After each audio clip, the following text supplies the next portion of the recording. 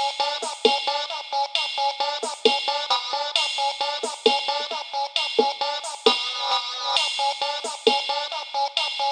you.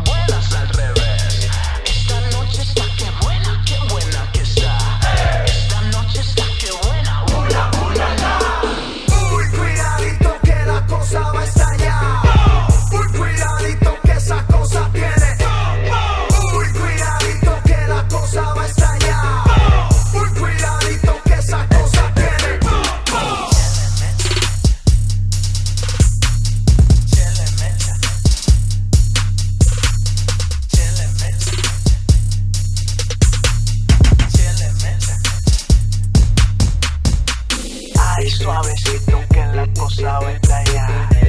Ay, despacito que la